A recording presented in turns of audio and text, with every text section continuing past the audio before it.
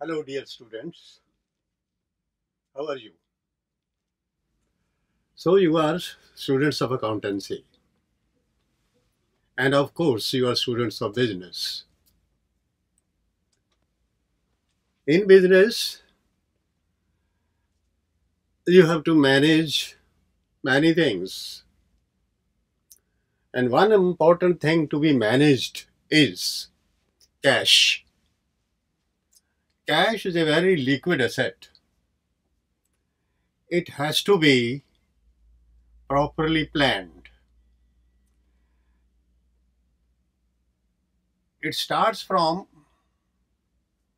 raising cash and then ends with using the cash. Business has to arrange for cash and, of course, application of cash. At one particular point, the situation must not arise like what we call cash crunch that the business needs cash and there is no cash. Cash planning is done by the business. How much cash is required? When and on which date some payments have been promised?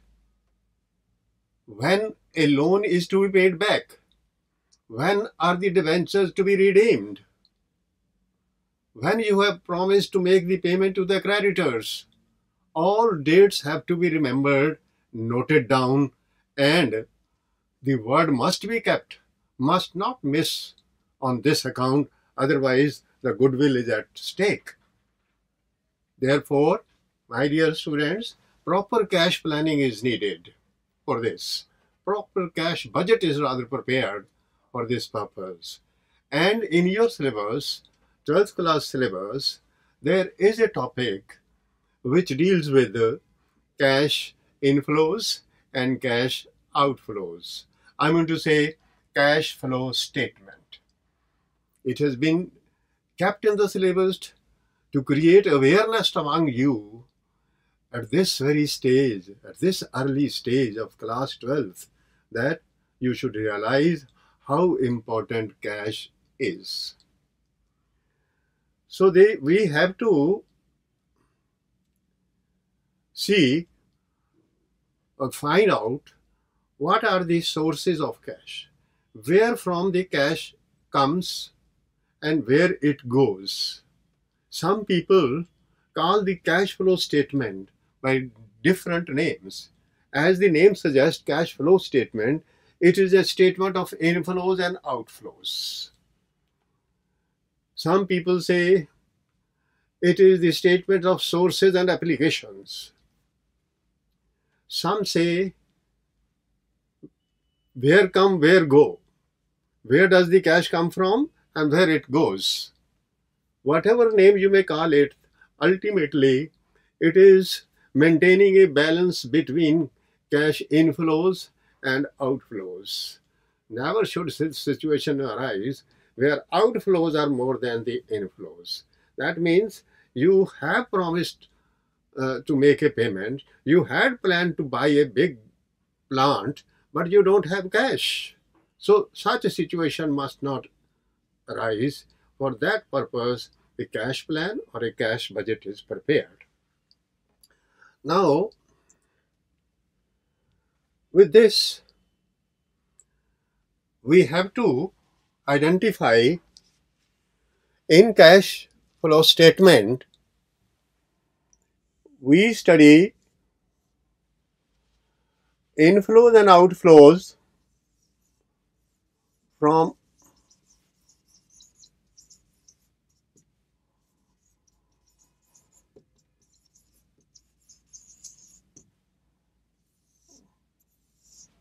operating activities of the business.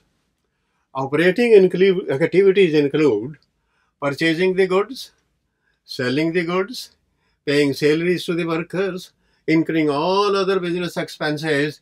They are all operating activities. Now it depends upon the nature of the business. For a bank or a financial institution, paying interest is an operating activity. Receiving interest is an operating activity. And for a non-banking business, of course, paying interest and receiving interest may not be an operating activity. So one has to take into account the nature of the business in order to decide whether particular activity is an operating activity or a non-operating activity. So we have inflows and outflows from operating activities. Then second is we have inflows and outflows from investing activities.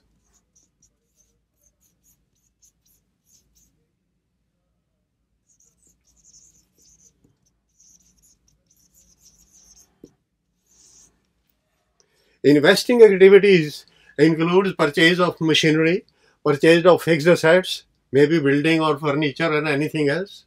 And it also includes the reverse of purchase. If any building has to be sold, this also will come under um, investing activities. That when you invest, when you buy something, there is cash outflow. And when you sell the same asset after having used it for a few years, then there is a cash inflow. Similarly, if there is some investment made and you may receive interest on the investments, this also is an investing inflow, interest on investments. So these are investing activities. There we can have inflow and outflow also. Similarly, we have third, the financing activities.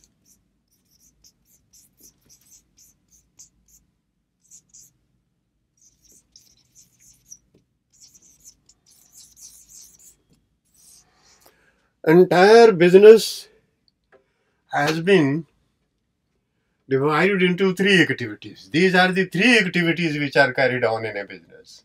No fourth activity. All activities can be divided under the operating activities, investing activities, and financing activities. In operating, I told you, starting with purchase of goods and sale of goods, making payment for rent, for stationery or other operating expenses which are incurred, they come here. And then at the end of the year, we get net profit. We get profit. This profit is the best source of cash. Cash can come from sale of investments. Cash can come from financing activities, sale of shares, issue of shares, issue of debentures, getting loans from the banks, Cash can come, but that cash has to be paid back. It is a liability. But profit earned through operation, that is the first best source of cash, which must be paid proper attention. The higher the cash profit, higher the profit realized, higher the cash flow from the profits, the better it is. Right? And getting cash from capital, getting cash from debentures, getting price for getting long-term loans, of course, that is useful, but the best out of these inflows is this one. This inflow is by selling the investment, by selling the machine, by selling the building, by selling, but that also is no good. That if you want to buy a new machine, you have to sell one in order to buy a new machine. So where lies the expansion? You have five machines. If you sell all the five, I think you will be able to buy only one with whatever the money you get. And you won't be able to do with one. You want another four where from that money will come. Either you get a loan or you have huge profit lying with you and that profit is used to buy the machine. Right? Now, this is a, just a rough idea given to you where from the money comes and where it goes. Right? Then the point is, what is the need for this cash flow statement?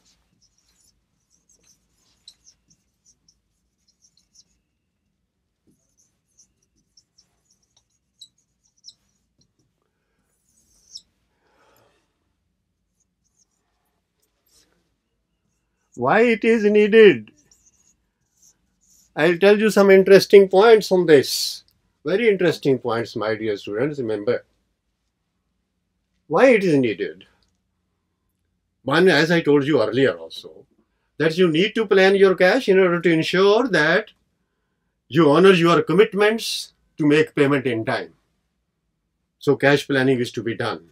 You must know how much cash at one particular point will be coming and how much at a particular, one particular point I have to pay. That is one thing. Another very important point is why it was thought of having a cash flow statement. May I tell you, my dear students, up to 1998, we used to have another statement that used to be called funds flow statement.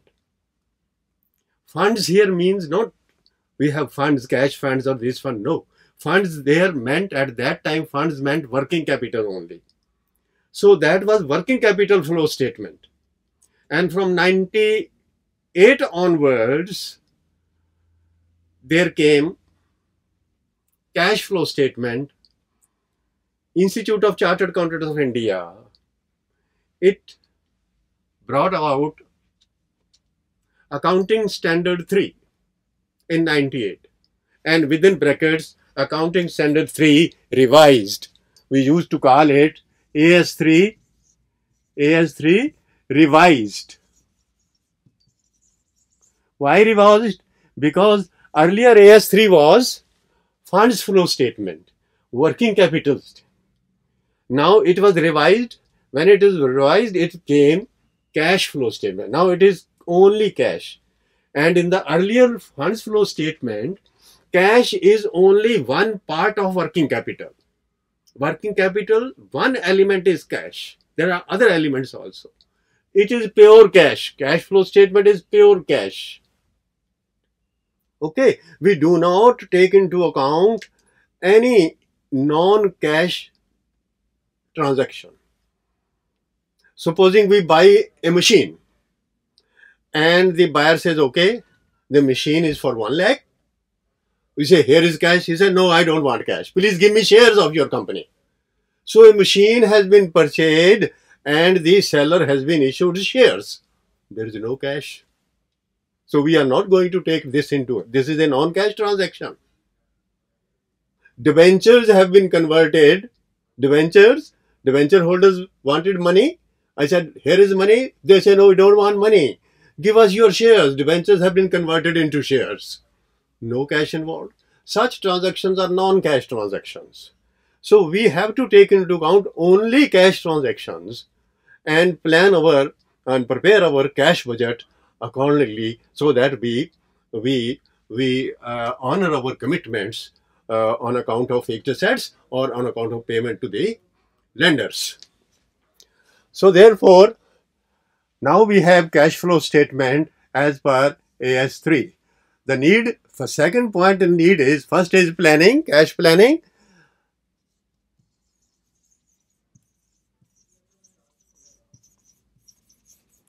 Second point is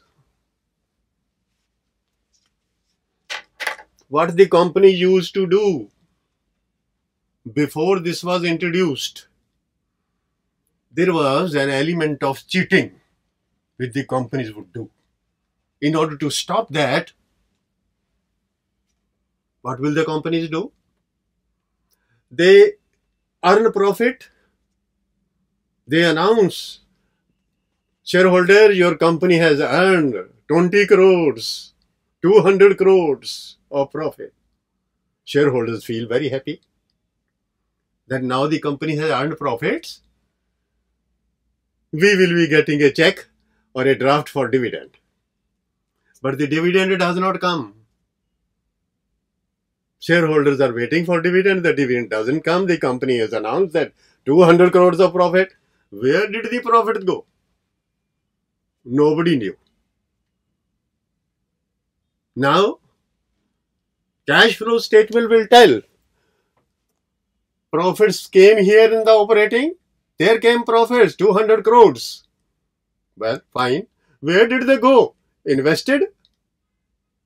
This will show has the profits been invested in buying machine, building or other factory or for expansion?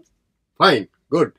I am happy personally when my companies don't pay dividend and tell me, look here, we are expanding our business. I am happy because next year I will get a higher profit.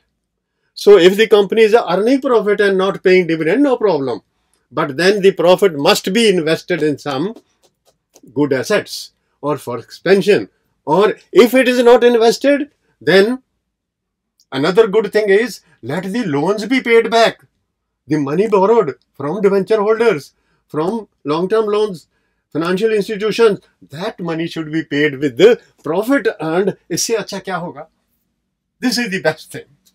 और earlier किसी को कुछ नहीं पता लगता था nobody knew where did the profits go? Profits came. It was announced. Nobody knew what happened to the profit was something invested? Some assets some expansion was done or not? Or some loans were paid back or not? Where did the profit go? Shareholders would not know. And now with cash flow statement they come to know they having a just first sight at the cash flow statement will tell you what is happening. Companies cannot hide. They have to disclose. Second situation. Second situation, another dangerous thing. The company has suffered a loss. This year, there is a loss.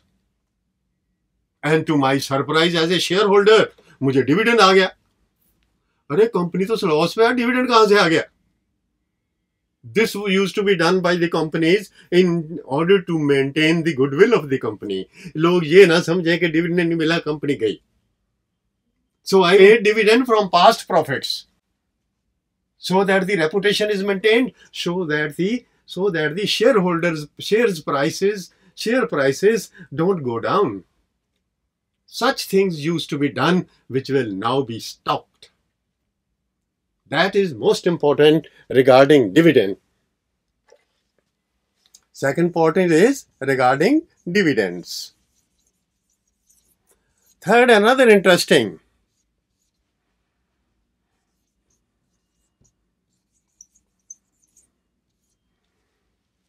Fixed assets. Companies purchase fixed assets. Now imagine a huge plant has been purchased for 10 crores. This plant is going to take at least one year, let me say six months to start working. Huge plant, it has to be fixed properly and that it, it needs raw material so that when it, the raw material is put into it, it produces finished product after six or seven months. So huge plant has been purchased for 10 crores. Fine. And 10 crore money has been borrowed on a short-term basis. Funny thing. It has been borrowed on short-term basis. Short-term basis means less than one year. So plant has been bought, it has been fixed, it is it has yet to start production. And the lenders have come. Lenders have landed at my place. They are asking the money back. Where should I pay the money? Fixed assets must not be bought from short-term sources. They have to be bought from long-term sources so that I have sufficient time to ensure that the plant starts working and starts production. And we never knew that this plant, in investing, this plant has been purchased. In order to purchase the plant, where did the money come from? Did it come from operating profit? Fine, very good. नहीं आए तो क्या हमने यहाँ से loan लिया कोई कोई दस करोड़ का लोन लिया यस लॉन्ग टर्म लोन लिया तो भी ठीक है so that was one point in order to ensure that the fixed assets are purchase from long term sources पहले किसी को कुछ नहीं पता लगता था अब पढ़िए cash flow statement you will come to know that this cash flow statement is telling us everything about purchase of fixed assets and the sources from where the you know, from where the money came in order to buy the fixed assets. Another point, two points. If any fixed asset has been disposed of, after five years, the plant has been sold. It was bought for 10 crores. After having used it, we have sold it for 3 crores. Very good. No problem, sold it. Point is, for what purpose did you use this 3 crores? Two things. Either pay back the loan which was taken to buy this asset. This 3 crores should be used there. Very genuine reason. Other, if it is not, then buy another machine with this. Only two good things. Either pay back the loan with which the old asset was purchased five years back, or if the loan has already been paid, buy a new machine. That is done or not done. Earlier पता नहीं लगता था क्या हो रहा है अब सब कुछ पता लगेगा कि क्या किया गया है सम some asset has been sold here investing inflow है पैसा आया हमारा? वो कहाँ गया? क्या उसके साथ नई मशीन खरीदी? बताएगा। नई खरीदी को लोन पे किया? बताएगा। और दोनों में से कोई भी काम नहीं किया तो उसका मतलब कोई और ही काम कर लिया, कहीं खा गया बैठ के। That will not be permitted now that is cash flow statement it's which need, i think, my dear students, if you mention these two points, you have complete grip on cash flow statement, right? And then there are certain items certain certain certain terms used here I would like to say something about certain terms. The terms used. The terms used in are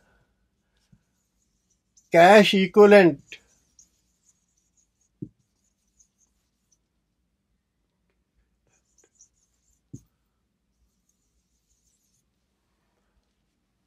Second is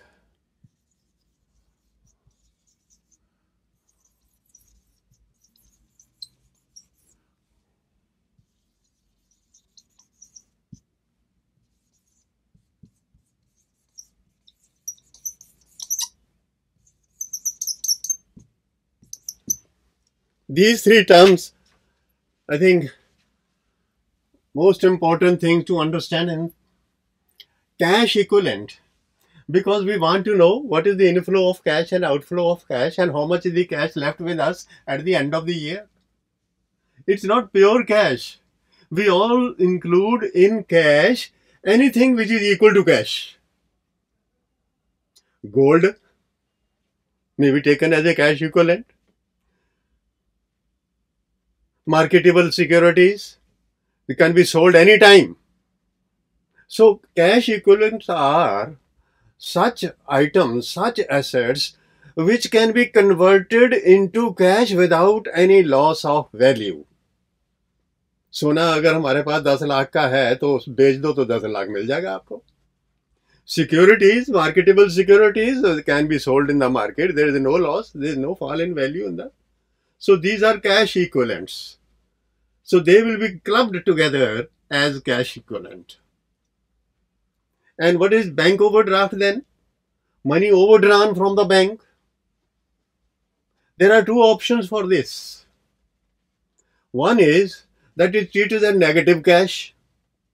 If the positive cash is 10 lakhs and overdraft is 2 lakhs, so I will deduct 2 lakhs out of 10, my cash in hand will be uh, 8 lakhs. This is treating bank overdraft as negative cash. But, but the CBSE, my dear student, wants you to treat overdraft as a short-term loan.